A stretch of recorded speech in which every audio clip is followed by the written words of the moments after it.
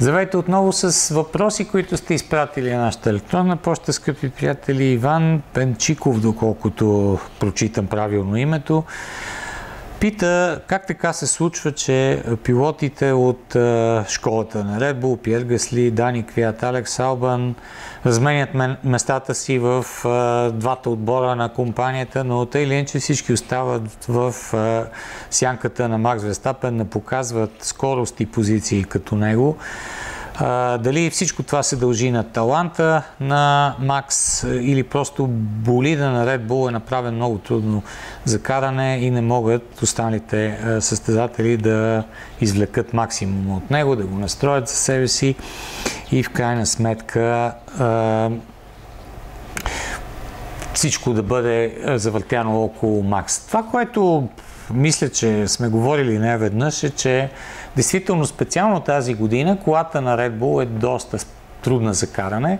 Имахме в един от последните броеве на списанието материал специално за представянето на Алекс Салван, за това, което той самия дава като обратна информация за невъзможността да настрои колата достатъчно добре, за да се почувства комфортно и уверено в движението на, на автомобила. Труден е автомобил за каране, но той е труден за каране в някаква степен и за Макс тази година специално.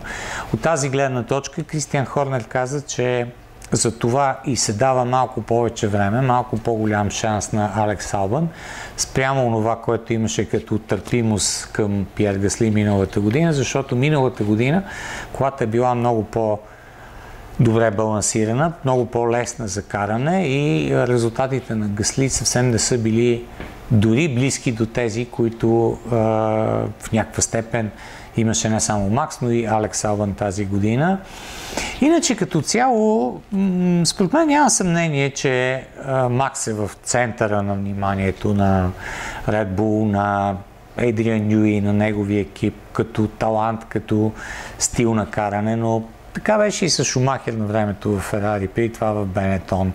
В някаква степен с а, Ники Лауда още на времето. Така че а, това не е някаква нова, как да кажа, нова политика, специално разработена или използвана от, от Red Bull.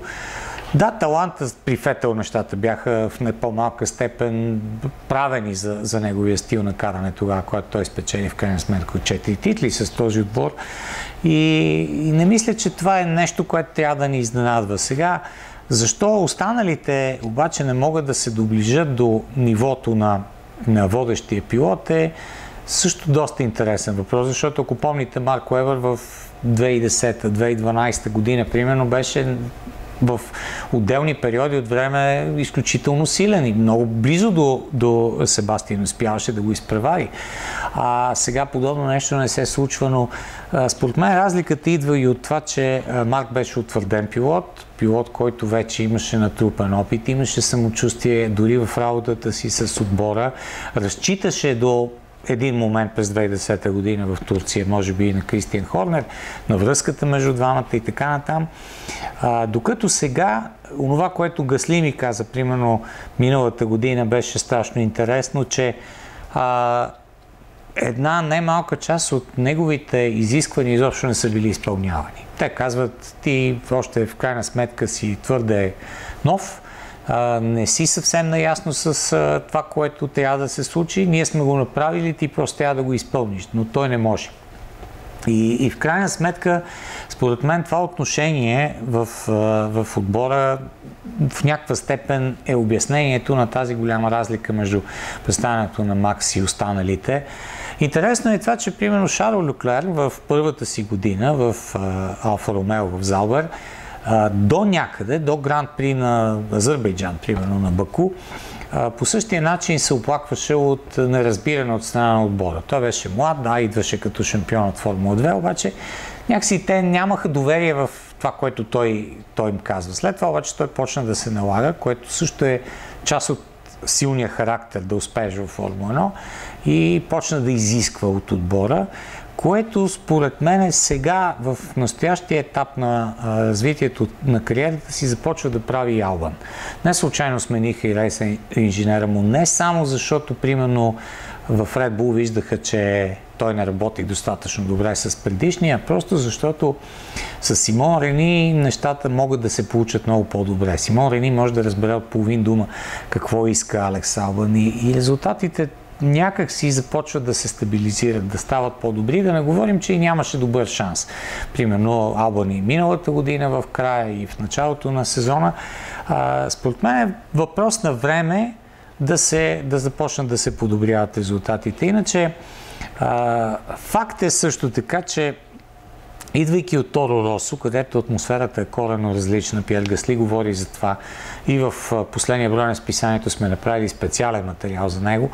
В Торо Росо нещата са различни. Това не е супер голям отбор, връзките са много по-непосредствени а, как да кажа, топлината в отношенията е различна и Гасли се чувства много по-добре и Гасли дори в момента след победата на Монца, това беше голяма тема, нали, ще се върне ли сега отново в Red Bull, още повече, че резултатите на Албан не са достатъчно добри, но самият той каза, че а, това изобщо не е обект на внимание за него в момента. Той иска с Алфа Таури, с този нов малък отбор, вече с новите правила, с ограниченията, които ще има върху бюджетите, върху изследванията за по-големите отбори, да, да върви стъпка по стъпка напред и да постигне максималния резултат, чувства се комфортно в, тази среда. В Red нещата са а, малко или повече по, по-различни и мисля си, че след всичко това, което стана, тези въртележки и създани, която нещата сега ще бъдат доста по,